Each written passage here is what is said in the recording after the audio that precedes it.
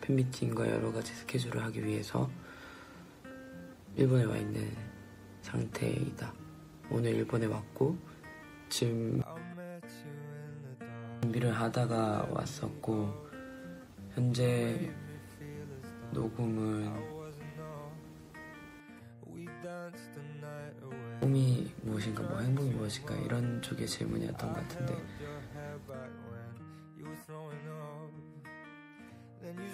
시간이 좀 길어졌던 것 같아서 정말 많이 했었던 시기였던 것 같다. 뭔가 성인이 되고 데뷔를 하고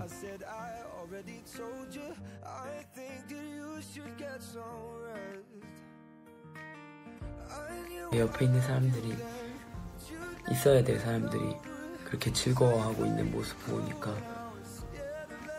어 뭔가 그 때는 아 저번처럼 아 이건데 뭐 이런 생각보다는 좀 머리가 맑아지는 느낌. 20분 가까이 찍어본 건 또 처음이네